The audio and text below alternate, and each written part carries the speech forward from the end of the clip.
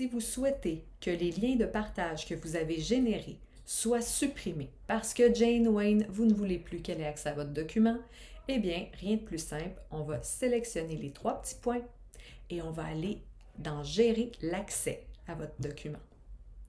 On peut voir qu'une personne a un accès, quatre groupes ont des accès également, dont euh, nos, euh, nos, gestionnaires du SSGC qui pourraient consulter le document, mais que pour ce faire, alors moi, ce que j'ai fait, c'est que j'ai créé deux liens, un pour Jane Wayne et un pour mon groupe de gestionnaires.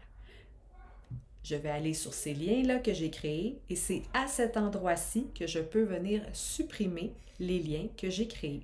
Alors, on voit ici que Jane Wayne, ici, pouvait modifier mon contenu. Je vais supprimer ce lien-là. Il va cesser de fonctionner pour tous les gens avec qui je vais partager, c'est-à-dire Jane Wayne. Voilà. Et ici, j'avais un lien qui avait été créé pour euh, ici, en fait, ben, il n'y a pas de. J'ai cliqué dessus parce qu'il n'y a pas d'image, mais il s'agit du groupe de sécurité, hein, SSGC gestionnaire, donc je vais supprimer ce lien-là également.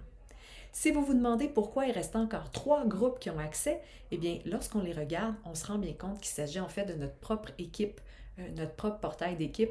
Donc, il y a des gens qui sont propriétaires de ce portail d'équipe-là, probablement que ce ne sont pas vous.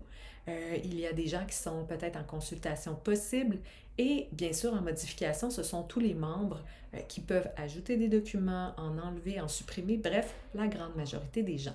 On ne peut donc pas venir modifier ici euh, les accès. C'est vraiment juste dans les liens qu'on a créés qu'on peut aller en faire cesser. Voilà, en espérant le tout utile, je vous souhaite une belle appropriation et de beaux partages.